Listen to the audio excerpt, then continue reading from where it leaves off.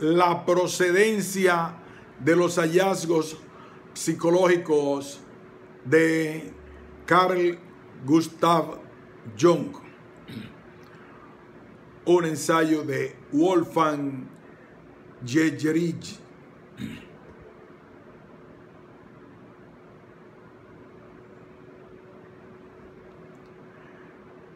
¿Cómo llegó Jung a sus ideas psicológicas? ¿Cuál es la base de su conocimiento? Los medios de adquirir conocimiento. ¿De qué derivan su pretensión de verdad? Para estas preguntas hay una respuesta clara. Y al venir del mismo C. J. Jung, podemos darla por acreditada y autorizada. La respuesta es de la experiencia empírica. Las frases de un artículo inglés de primera plana, hechos primero y teorías luego, es la idea central de la obra de Jung. Él es, por encima de todo, un empirista. Cuentan con la completa aprobación de Jung, porque de hecho transmiten la quinta esencia de la imagen de sí mismo de Jung como científico. Jung siempre concibió su psicología como una psicología empírica y como una ciencia natural. Sin embargo, en conflicto con esta mirada está el extraño hecho de que la comunidad científica en general de ningún modo está de acuerdo con esta valoración de Jung concerniente al carácter de su psicología. Por cierto, los jungianos en San Francisco, así como en Zurich, en Londres, así como en Stuttgart, apoyan la concepción de la psicología junguiana como una ciencia empírica, aunque estos mismos investigadores vienen de la escuela junguiana. No obstante, si buscamos entre aquellos científicos que no se sienten en ninguna obligación con el enfoque junguiano, Trátense de psicólogos de otras escuelas o de científicos de campos totalmente diferentes. Encontramos con muy pocas excepciones solo dos reacciones. O bien Jung es atacado como predominantemente a científico, como un místico, un profeta del inconsciente o como cosas parecidas y es rechazado o bien es simplemente ignorado como si no hubiese existido. Es esta una situación extraña, digna de atención, pues si nos las arreglamos con la excusa de que todos estos científicos o son muy estúpidos para entender el carácter empírico de la psicología junguiana o maliciosamente no quieren verlo. La pregunta surge entonces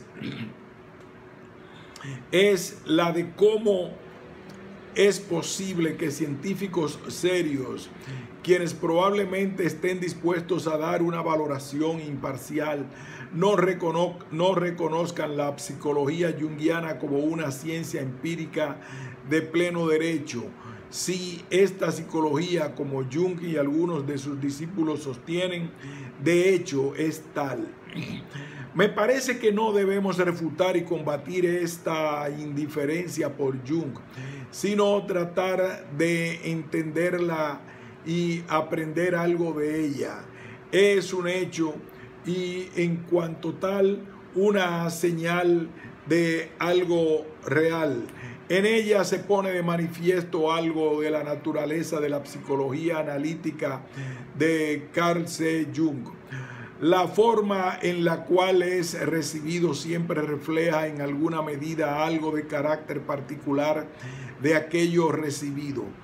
La simple posibilidad de tener dudas relativas al carácter científico de la psicología, de la psicología junguiana, así como la necesidad que Jung sintió de remarcar una y otra vez su carácter empírico o la necesidad que, que sintieron algunos de sus seguidores de probar su cientificidad a modo de excusa y disculpa con la ayuda de todo el aparato de la teoría moderna de la ciencia, pone en serio interrogante detrás de la concepción de la psicología junguiana como una ciencia natural empírica. Pues, ¿cómo podría encontrarse una cosa tan extraña como esta, por ejemplo, en física? Sería un absoluto, sería en absoluto imaginable que emergieran dudas sobre su cientificidad y que fueran necesarias disculpas y aclaraciones. La cientificidad de la física, así como la de cualquier otra ciencia natural genuina, simplemente no están en cuestión. Es una certeza establecida, evidente por sí misma y no sería una ciencia genuina si fuesen posibles, en primer lugar, dudas y diferentes opiniones sobre su estatus. Toda ciencia verdadera tiene la adquisición de su naturaleza científica, esto es, su identidad como ciencia y por lo tanto la adquisición de su verdad, fundamentalmente detrás de sí misma, por lo cual solo necesita de manera imperturbable proveer evidencia de que sus declaraciones individuales sobre los hechos de, y el gran panorama de su campo respectivo sean correctas, pero no la prueba de su cientificidad per se. Sin embargo, donde todavía se necesita luchar para proveer esta prueba, se vuelve claro que la disciplina particular no ha alcanzado aún el camino seguro de la ciencia usando la frase de Kant y que la pregunta sobre su identidad y la verdad todavía está fundamentalmente abierta. La naturaleza desconocida de la psicología. Así que hay con respecto a la psicología junguiana al menos dos posturas en conflicto. La postura de Jung y de algunos de sus discípulos de que es una ciencia empírica y la de la opinión pública que no lo es. Dado este estado de cosas, podemos apoyarnos en una importante intuición psicológica de Jung. Cuando las opiniones sobre un mismo tema difieren tan ampliamente, hay desde mi punto de vista fundamento para sospecha de que ninguna de ellas es correcta y que ha habido un malentendido. Tal vez ni la opinión de que la psicología de Carl Jung es una ciencia natural, ni la opinión de que Jung es un teólogo gnóstico, místico, gurú o profeta del inconsciente y de cualquier caso sus enseñanzas son, y que en cualquier caso sus enseñanzas son científicas sea apropiada. Tal vez tanto el pro como el contra pierden de vista punto. Descansan en el mismo malentendido y simplemente dan respuestas opuestas a una pregunta absolutamente inapropiada, una y la misma pregunta. Ambas son tal vez opiniones sobre esta psicología, pero no la verdad evidente que habla por sí misma de esta psicología. La coexistencia de tales opiniones divergentes parece implicar que la psicología todavía está en el estado de debería ser o no de es. Tal vez la psicología de Jung no es después de todo ni lo uno ni lo otro, sino una tercera cosa desconocida y nueva. lo cual requiere simplemente que olvidemos las categorías y los patrones habituales de pensamiento para abordar a Jung con unas categorías y expectativas diferentes, completamente frescas, categorías que sin embargo pueden ser derivadas inmanentemente de la psicología junguiana misma. Así como la pintura abstracta no es arte representacional degenerado, así también la psicología junguiana no tiene que ser ciencia pobre, sino que puede tener un estilo willing diferente. Esto es un propósito inmanente de otro estilo. Al mismo tiempo, esto indicaría que la psicología propiamente entendida posiblemente tampoco tendría que ser puesta en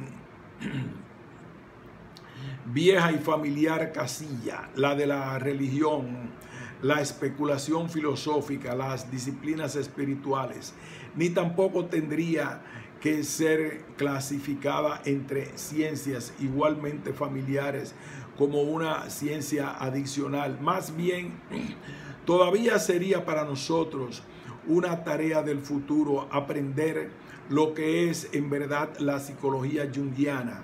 Aún no lo sabemos y la psicología misma obviamente aún no ha encontrado su propia identidad. Una identidad que le permitiría estar completamente de acuerdo consigo misma. El proceso de individuación, su autoactualización, ese proceso a través del cual ella entraría al estado de su simple verdad, todavía está a la espera. Si queremos vislumbrar la aún desconocida naturaleza de la psicología, no debemos desarrollar teorías por nuestra cuenta, sino que debemos dirigir nuestra atención a donde la psicología de hecho ya está en acción. Donde ella tiene lugar, donde ella sucede, allí debemos observarla y observar lo que hace, porque solo la psicología misma puede informarnos qué, cómo es ella, así como cuál es su fuente y origen. En este sentido que quiero, a manera de ejemplo, tomar un solo caso con el fin de tratar de ver cómo abordó Jung los fenómenos psíquicos y de dónde obtuvo sus intuiciones psicológicas. En nuestro caso particular, la idea de arquetipos la cual es tan central para él. Por consiguiente, más que presentar mi propia concepción de la psicología en una vía dogmática, trataré de extraer y desarrollar un aspecto de la naturaleza de la psicología exegéticamente, por así decirlo, de un ejemplo existente de la psicología. La naturaleza no empírica del arquetipo cuando Jung quería demostrar la génesis de su concepto de arquetipos y a la misma vez dar razones para su legitimidad, le gustaba recurrir al caso de aquel esquizofrénico que tuvo la visión de falo solar. Para nuestros propósitos no es importante si este caso fue de hecho el origen de la doctrina posterior de los arquetipos o si Jung simplemente lo adujo como un ejemplo particularmente sorprendente. Tampoco es importante para nosotros si los hechos del caso fueron exactamente como Jung los reportó. Ahora sabemos que ha habido bastante controversia alrededor de la descripción de Jung y de las discrepancias entre sus diferentes reportes del mismo caso.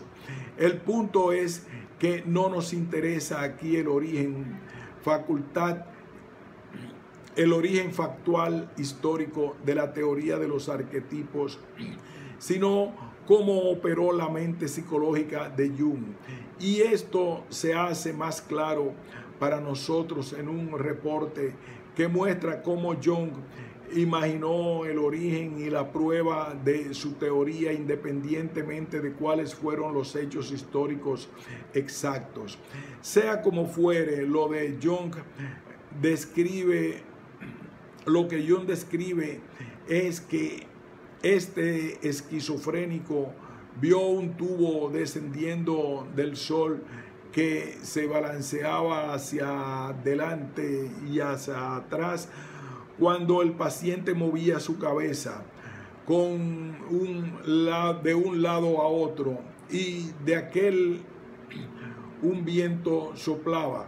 Pocos años después, Jung descubrió en un texto gnóstico que acababa de ser publicado un paralelo a esta extraña idea delirante que se correspondía en muchos detalles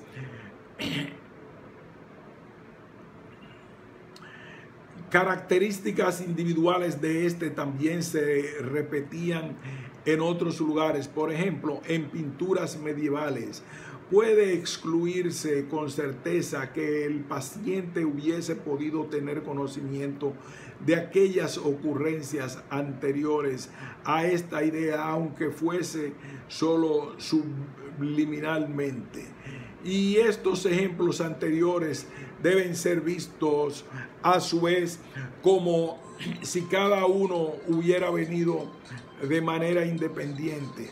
Con esto, Jung en el fondo había proporcionado la prueba de que su idea tenía una existencia colectiva y que no era una adquisición personal a través de la educación o la tradición, ni tampoco una nueva creación.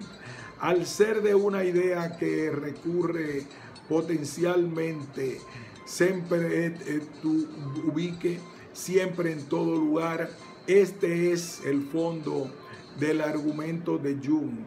Se demuestra que es la que es una idea arquetipal o expresado de forma diferente. Se ha probado al menos en este caso que hay ideas de origen arquetipal.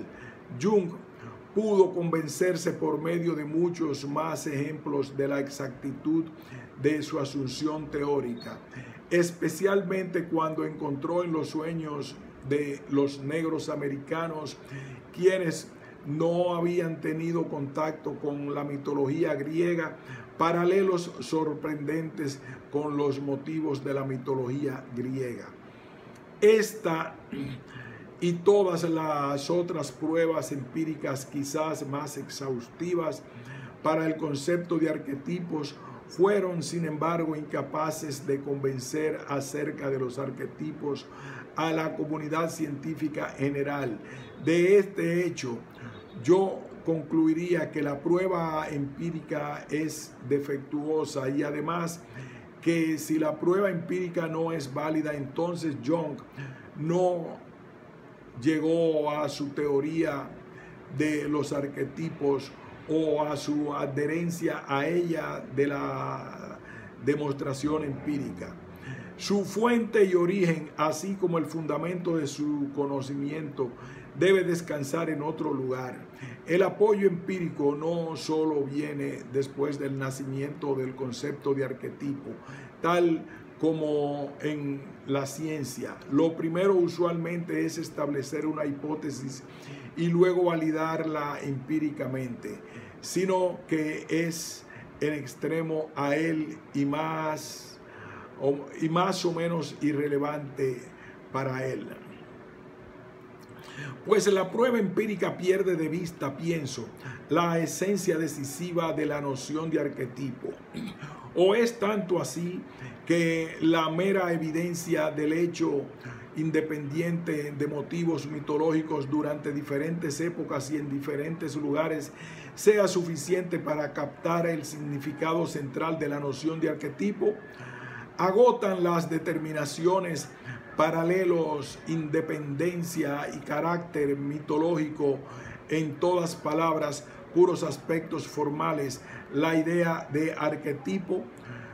Todas estas características de hecho pueden probablemente ser demostradas empíricamente, pero incluso esto sería admitido con toda probabilidad por la mayoría de los adversarios del concepto de arquetipo, sin sentirse forzados por ello a reconocer el concepto de arquetipo. Pues la prueba empírica así es como podríamos expresarlo, lleva como mucho a la demostración del tipo, pero no a la demostración de lo que es sugerido por la primera parte de la palabra, mucho más significativa, arque.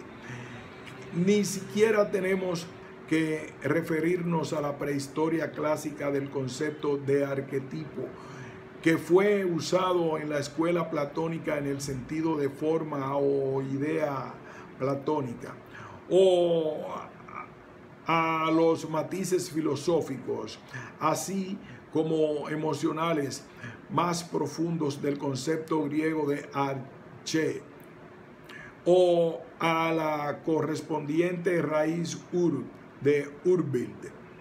Si bien el concepto junguiano de arquetipo resuena con ambas, al menos como connotaciones Basta con observar cómo de hecho es usado el concepto de arquetipo en la psicología junguiana y lo que es incluido de manera indispensable en su significado, más allá de los aspectos que ya describe, a saber, una estructura significativa, una que en efecto establece a dota de significado y ve luminosidad luminosidad. Ahora, para comenzar con esta última característica mencionada, es un hecho que un estado emocional intensificado que ocurre con la así llamada idea arquetipal puede en ocasiones ser empíricamente demostrado, pero primero esto no llega a ser por sí mismo una prueba empírica de la luminosidad, pues esta noción no se adscribe simplemente a la idea de eficacia causal, sino más allá de eso, a un valor o dignidad, el cual por supuesto no es un concepto empírico, como Jung mismo declaró, la cualidad numimosa, tan indispensable para el reconocimiento de un arquetipo es indefinible e imponderable, así como la expresión del ojo humano, la cual es indubitable y aún así indescriptible.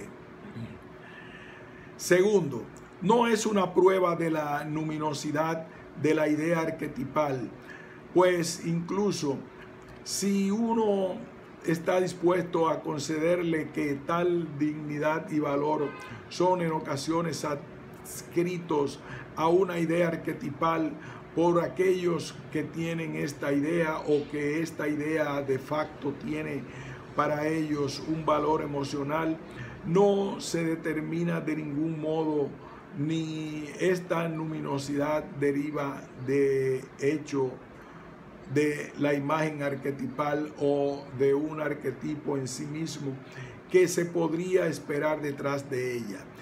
Y si es intrínseca a ella, también podría haber sido conferida subjetivamente a la imagen por las personas interesadas debido a cualquier tipo de desorden afectivo, caso en el cual es posible que la imagen pueda ser vista como un mero epifenómeno, especialmente que si uno tiene en cuenta que la regularidad que existe en, en, la esfera biológica entre el estímulo clave y el patrón de comportamiento, mecanicismo de liberación innata, está ausente en la esfera psicológica, al menos en lo que concierne a los arquetipos donde uno y el mismo motivo arquetipal, Trinidad, Falo, Solar, Mandala, etc., sin una razón aparente,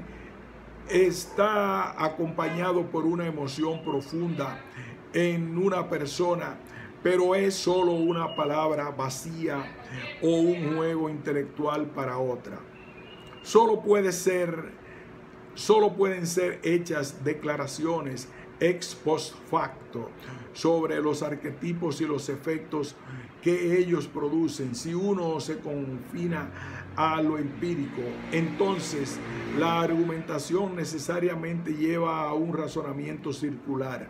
Únicamente el profundo efecto y estado emocional puede uno concluir que un arquetipo debe haber sido constelado, puede haber sido constelado, lo cual por su parte, en sin embargo,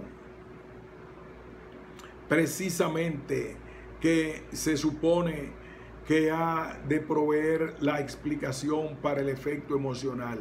Pero esto es una respuesta.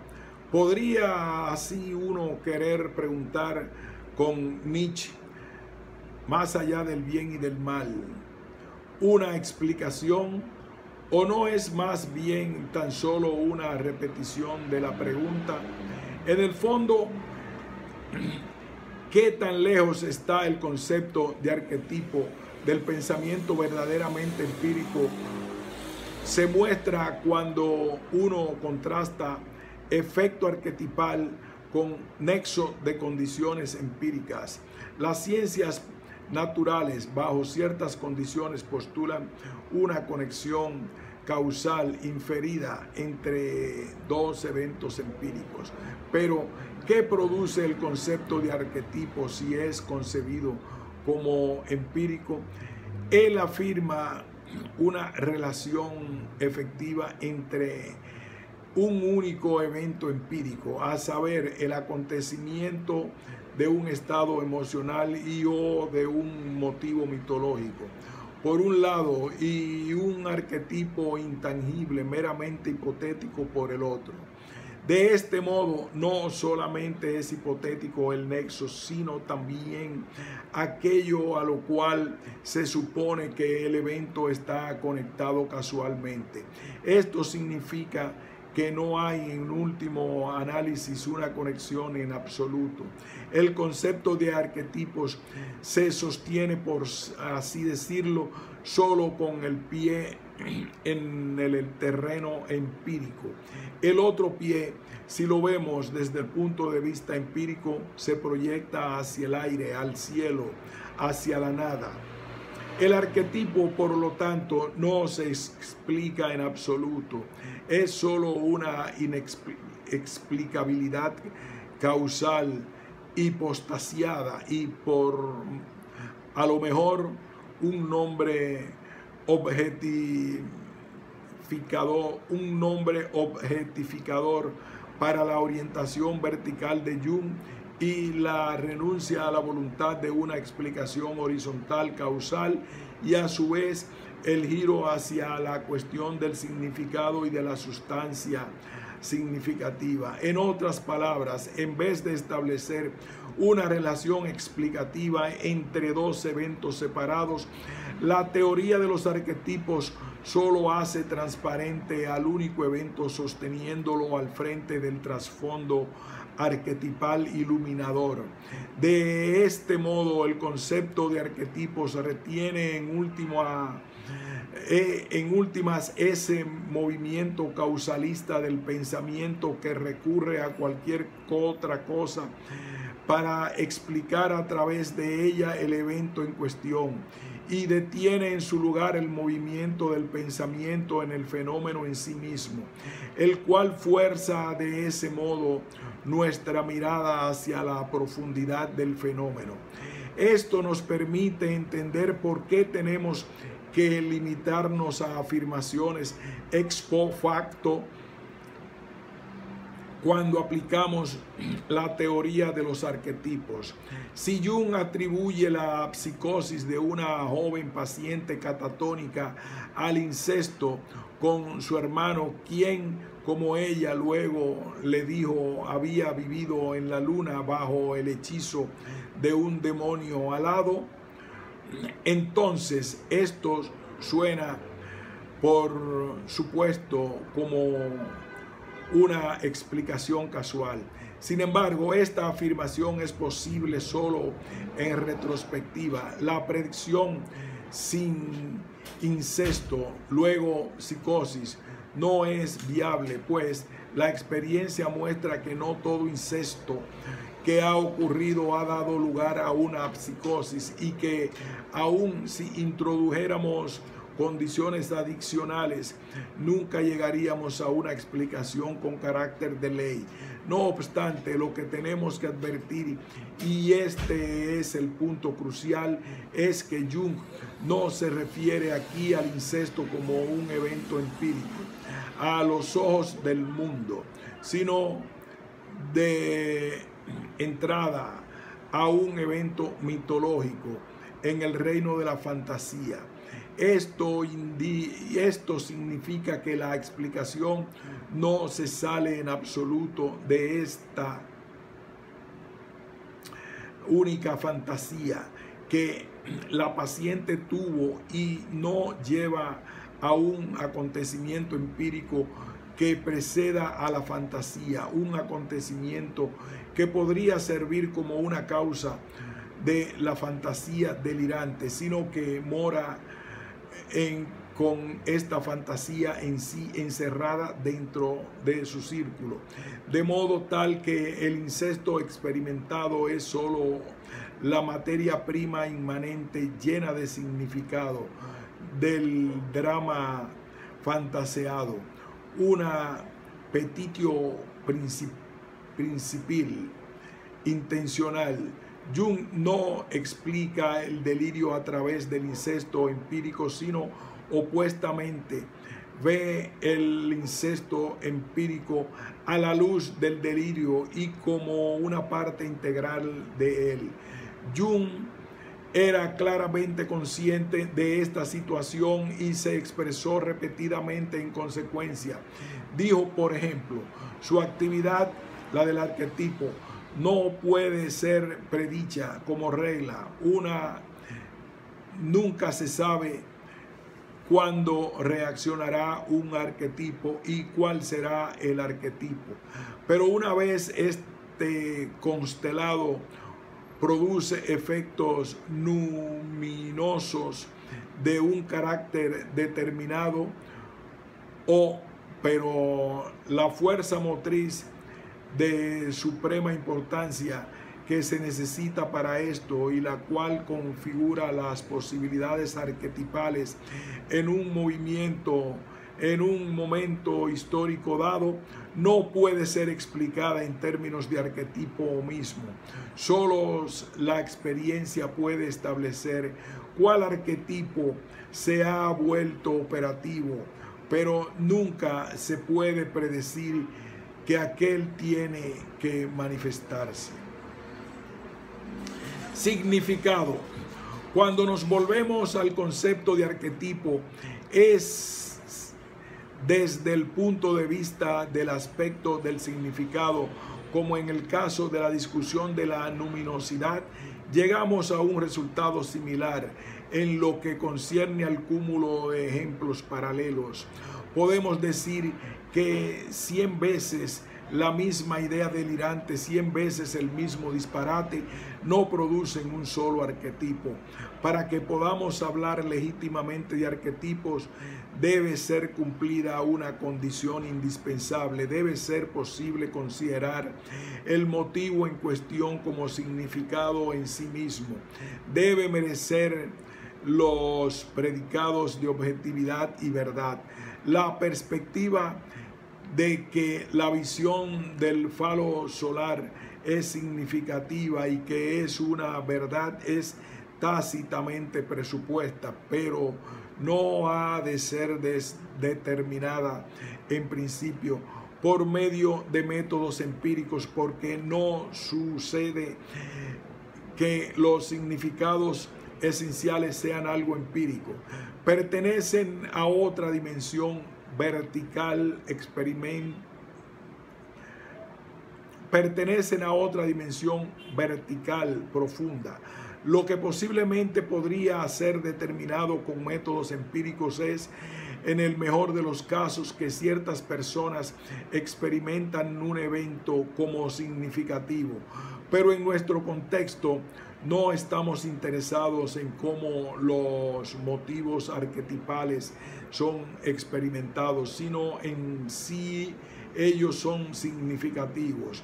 El hecho de que tengan una existencia colectiva y un significado humano. Resumido, que tengan un significado humano universal y objetivo.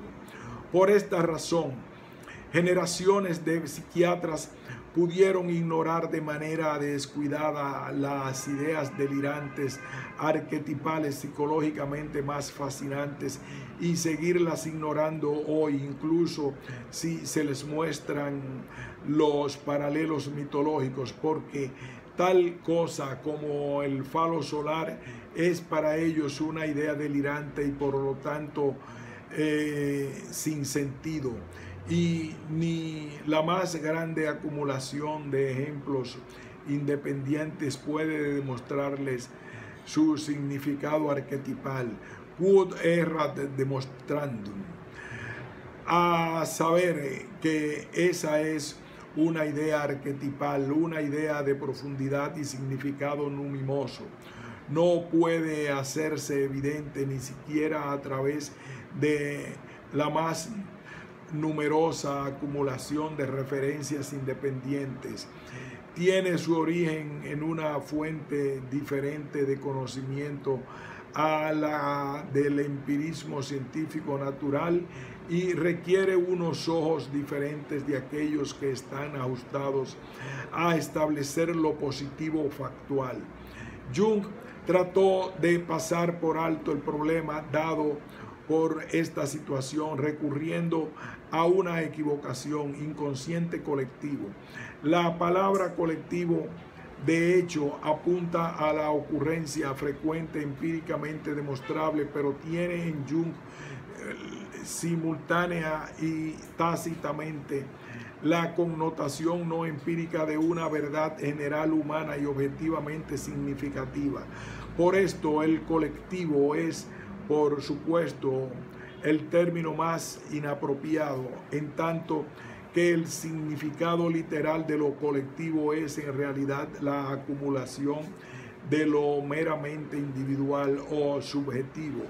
Esto es la multitud o la masa, algo que Jung no tenía en mente precisamente. El significado pretendido realmente encuentra expresión en las palabras urbild, imagen primordial, y arquetipo, aquello que es irreducible, lo cual solo ha de ser comprendido en sus propios términos, llevando a su vez a la profundidad. Procedencia de la fe psicológica. De hecho, emerge una imagen totalmente diferente de la procedencia de la idea de arquetipos si uno analiza el proceso de cómo nació esta comprensión sobre la base de cómo Jung describe el caso del falo solar. En las conferencias Tavistock leemos, un día cuando todavía trabajaba en la clínica Vi a un paciente con esquizofrenia que tenía una visión peculiar y me contó acerca de ella. Quería que yo la viera y siendo un poco torpe no pude verla. Pensé que pues ese hombre está loco y yo soy normal y su visión no debería preocuparme.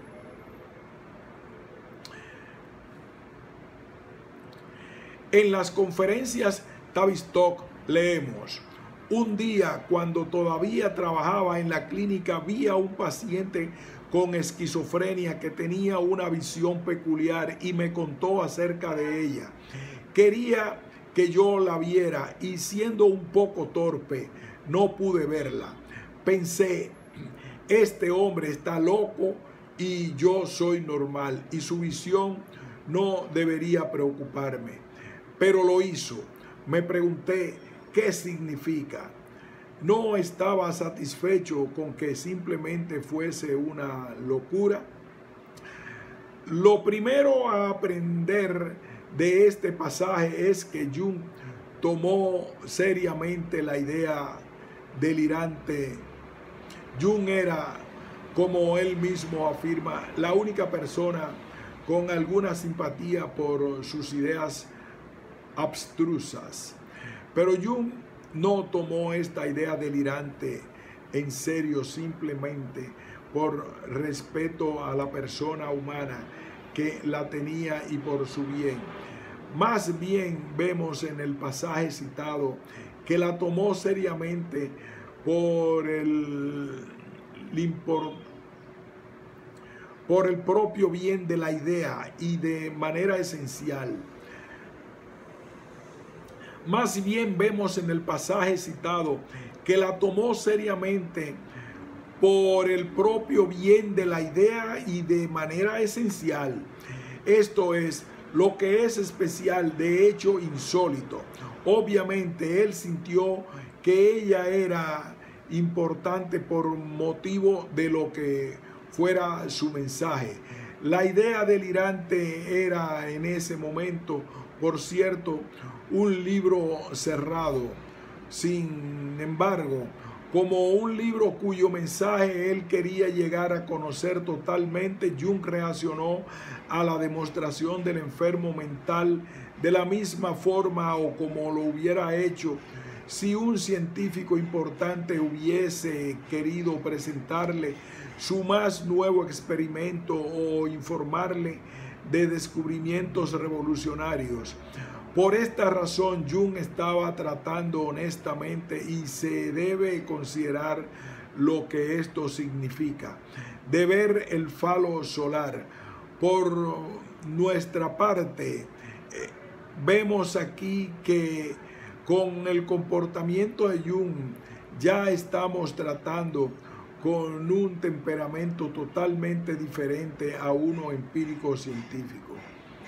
La actitud básica de un científico es la de desconfiar respecto a la naturaleza. Él aborda la realidad con la duda fundamental, no personal, sino metodológica, y exige que los fenómenos, primero que todo, prueben su identidad y se legitimen a sí mismos. Si se pretende que Él los reconozca como existentes, verdaderos o como hechos no del todo diferente a un burócrata. Para quien nosotros somos solo comenzamos a existir luego de haber mostrado nuestro certificado de nacimiento o pasaporte. La ciencia insiste en la verificación y validación.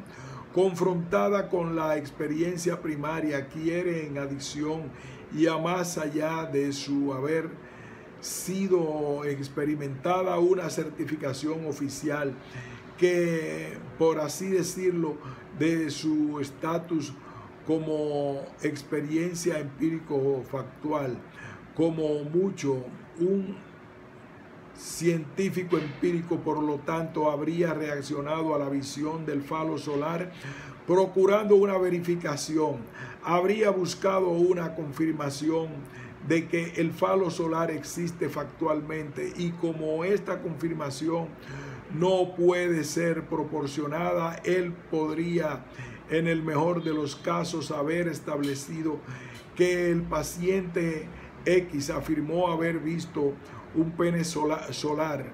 Esto es, habría podido dar prueba de la existencia de la idea subjetiva de este. El enfoque que toma Jung es fundamentalmente diferente, se acerca al fenómeno con una confianza básica. Mucho antes él había visto el pene solar, de hecho incluso antes de haber encontrado como él lo había por supuesto desde el comienzo, que con los ojos ordinarios de uno no hay nada allí que pueda ser visto. Él da crédito a la visión o más bien da para ser más exactos, no crédito en absoluto, lo cual es algo que aún tendría que ser redimido tarde o temprano, sino una fe implacable.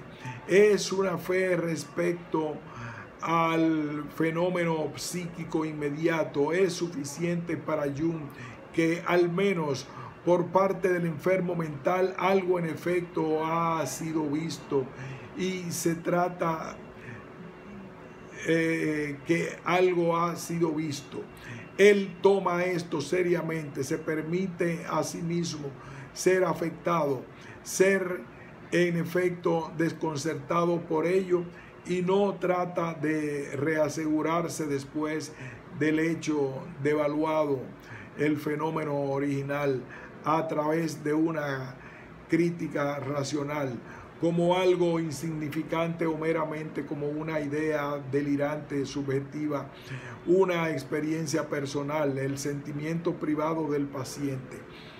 Lo que Jung se toma como seriedad es precisamente no la idea subjetiva del paciente y que significa algo para él, sino el pene solar en sí mismo visto por él en su delirio.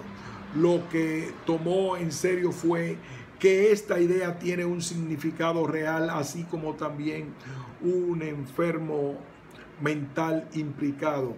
No estaba satisfecho con que simplemente fuera una locura. En términos más generales es la imagen psíquica, el contenido objetivo de la imagen como tal en la cual Jung muestra fe. No pueden surgir, dudas de entrada sobre el pene solar cuando está presente esta actitud porque de ser así en nada se creería o se afirmaría o si la duda debe entrar desde afuera, a saber, desde la perspectiva científica, esta actitud no podría mantener su posición. Su visión no debería preocuparme, pero lo hizo una búsqueda de pruebas o explicaciones. Eso es lo que tanto completamente ajena a esta forma del pensamiento. El deseo de obtener una validación del pene solar sería desde el tipo de vínculo de confianza que existe en el caso Jung y el fenómeno tan inconsistente, falto de tacto, de hecho mortal, como si uno de repente pudiera a un amigo probar su identidad a través de documentos oficiales. El hecho de que Jung tomó en el contenido de la visión el pene solar mismo en su verdad seriamente y no solo como una idea subjetiva del esquizofrénico, ya contiene un news dentro de sí el concepto arquitepal completo. Jung solo pudo desear ver el falo solar porque instintivamente, sin llamarlo así, sin saber explícitamente sobre él, partió del supuesto de que era una idea arquitepal, arquetipal. Esto es una idea respaldada por una realidad psíquica, a saber, el falo solar. Desde su postura, el concepto arquetipal había sido real y operativo desde el inicio y solo a través y en virtud de esa postura, solo para esta postura, esta es mi tesis, pueden haber ideas arquetipales. El concepto de arquetipo tiene procedencia en la fe que Jung tuvo por el fenómeno en cuanto tal y no en la investigación empírica.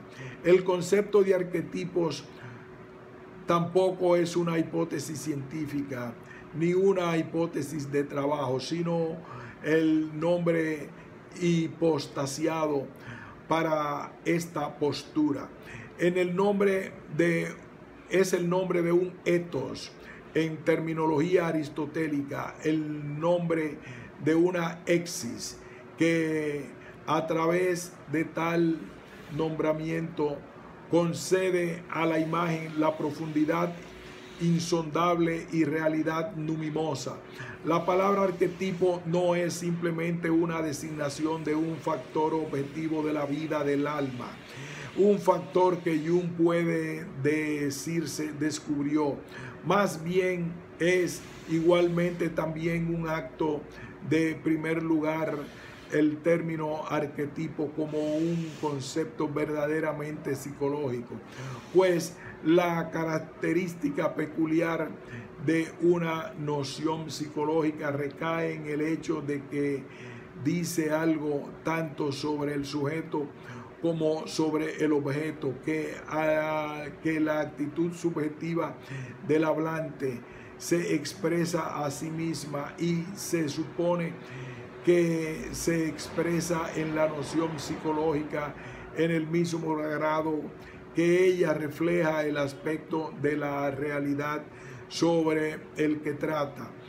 Por el contrario, los conceptos científicos, aunque por supuesto también traicionan a la perspectiva del sujeto eh, científico, si, bien involuntariamente se supone que representan puramente lo objetivamente real y eliminan al sujeto. Los conceptos verdaderamente psicológicos como conceptos que implican intrínsecamente al sujeto tienen inevitablemente la naturaleza de ser una exis. Nunca son únicamente teóricos, sino también éticos. Por esta razón, el concepto de arquetipos no necesita ser probado de entrada y cualquier intento de prueba después del hecho por medio de una acumulación de paralelos independientes no añade nada esencial al concepto inicialmente aún implícito y como prueba teórica nunca será capaz de transportar a una persona a esa postura. Por encima de todo, una prueba tal no puede demostrar lo correcto de la idea de arquetipos, como he mostrado, dado que es una actitud que nunca puede ser correcta o falsa, sino en cualquier caso meramente algo que no puede o no adoptar.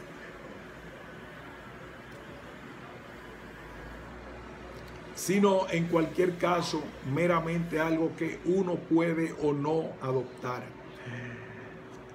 Lo conclusivo que fue para Jung el paralelo gnóstico con la visión del pene solar no descansa, por supuesto, en la independencia y en el paralelismo demostrables, sino en el hecho de que Jung ya sabía, ya había sido profundamente afectado y movido por esta visión cuando confrontó por primera vez con ella y que, y que de nuevo él tomó seriamente en su contenido esencial cuando se la encontró por segunda vez. Es una comparación de dos ejemplos que ya han sido apercibidos en su profundidad arquetipal y que por esta razón solo comprueba lo que a priori se ha conferido a ellos a través de la actitud de confianza y fe. En la realidad los ejemplos paralelos no proveen de ningún modo una validación. Lo que provee es meramente una amplificación en el sentido de la electrofísica, una afirmación y acentuación de lo que ha estado ahí desde el comienzo. La segunda aparición de la visión del pene solar le da un mayor peso a esta, intensifica la impresión de que ha hecho en Jung y alimenta la confianza que él trajo a ella tal y como de nuevo acto de amistad de un amigo, solo vuelve más fuerte el lazo de confianza, pero ni lo crea ni lo comprueba. Y en adicción esto permite que la idea, en otro caso aislada y errática, sea supuesta en contexto, dando por lo tanto una idea más clara de la riqueza de su significado. Es tiempo de aceptar y de permitirse a uno mismo ser enseñado por la crítica de los oponentes de la teoría de arquetipos. Esta no es una teoría empírico-científica y es engañoso llamarla así o tratar de convertirla en una. Con argumentos empíricos uno puede, en el mejor de los casos, comprobar no lo esencial o superficial de las ideas de Jung, lo positivamente tangible y obvio. Sin embargo, la que es la más profunda preocupación de Jung, la profundidad arquetipal y la verdad de, por ejemplo, la idea del pene solar en sí misma, puede ser a lo sumo impuesta a la prueba empírica. Al, al, promover un enfoque empírico, uno asegura exitosamente que nadie, excepto los enfermos mentales, verán el falo solar y que todos nosotros permaneceremos muy torpes.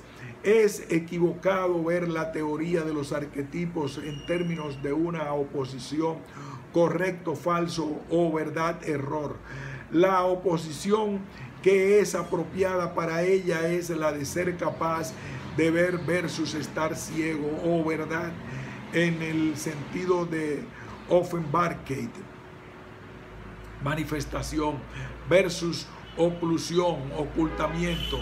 De este modo, Jung plantea que la religión consiste en realidades psíquicas de las cuales no se puede decir que sean correctas o incorrectas. Son, son los piojos o los elefantes correctos o incorrectos. ¿Entiende uno realmente la frase falo solar es una idea arquetipal?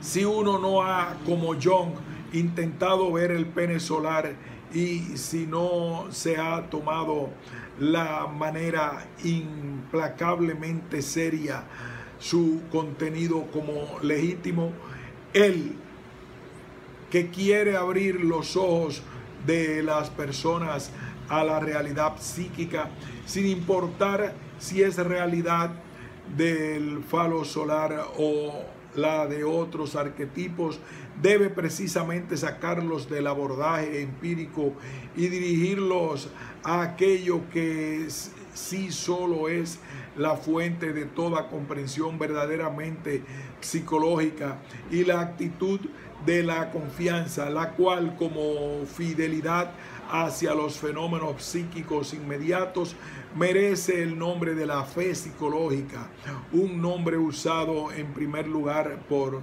Grinnell. ¿Qué es la fe psicológica? Aquí ella se revela en el hecho de que Jung da más confianza a la visión del loco, el cual ha sido desplazado, Berroquit, del mundo normal por el alma que a la visión empírica de sus propios ojos.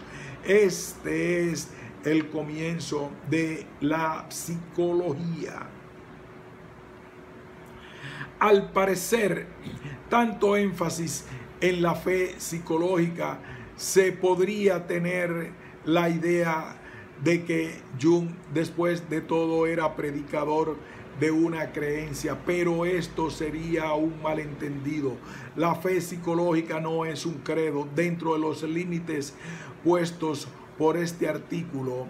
Discuto la actitud jungiana solo en la dirección de uno de los aspectos de la confianza y respecto a su igualmente importante otro lado, debo limitarme al siguiente breve comentario. La actitud de Jung está también y al mismo tiempo caracterizada por la gran sobriedad y realismo. Él no solo detesta todo entusiasmo eufórico, sino a mi pensar, fundó también la más crítica de las psicologías conocidas por mí. La fe psicológica no significa que Jung hubiese creído en el falo solar o en los arquetipos. No, no presupuso los arquetipos como algo que subsistía positivamente. Al contrario, enfatizó que la psicología trata solo con imágenes, fantasías.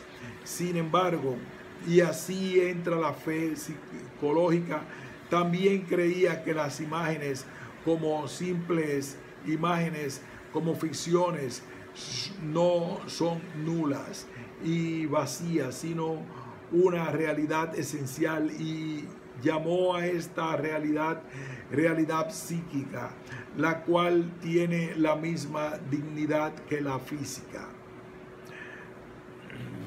Es decir, John creía en la gravedad, dignidad y realidad independiente de aquello que, como el pene solar, no tenía en absoluto una frase, una base física real.